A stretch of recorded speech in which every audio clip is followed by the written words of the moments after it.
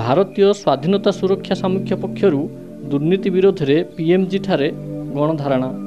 ସରକାରଙ୍କ ଦ୍ୱାରା କଠୋର ନୀତି ନିୟମ ଓ ଦଣ୍ଡବିଧାନ ଦ୍ୱାରା ଦୁର୍ନୀତି ଆମ ସମାଜରୁ ଦୂର ହେବାର ଏକ ବିକଳ୍ପ ପନ୍ଥା ବୋଲି ଭାରତୀୟ ସ୍ୱାଧୀନତା ସୁରକ୍ଷା ସାମୁଖ୍ୟ ପକ୍ଷର ସମ୍ପାଦକ କହିଥିଲେ। ଭାରତକୁ ସୁଦୃଢ଼ କରିବାକୁ ହେଲେ ସାମାଜିକ ଜାତୀୟ ନୈତିକ ମୂଲ୍ୟବୋଧ ଭିତ୍ତିକ ଶିକ୍ଷାର ଗୁରୁତ୍ୱ ଅଛି ବୋଲି ମଧ୍ୟ ସଂଘର ସମ୍ପାଦକ କହିଥିଲେ। ଆମେ ବାଇଶ ବର୍ଷ ହେଲା ବିଭିନ୍ନ ସମୟରେ ବସୁଥିଲୁ ଏବଂ ବର୍ତ୍ତମାନ ପ୍ରାୟ ଆମେ ବିଗତ ଛଅ ସାତ ବର୍ଷ ହେବ ରେଗୁ ନିୟମିତ ଭାବରେ ଆମେ ପ୍ରତ୍ୟେକ ମାସରେ ବସୁଛୁ ଏବଂ ପ୍ରତ୍ୟେକ ମାସରେ ବସିବାର ଉଦ୍ଦେଶ୍ୟ ହେଉଛି ପ୍ରଥମେ ଥିଲା ଆମର ନିଶା ନିବାରଣ।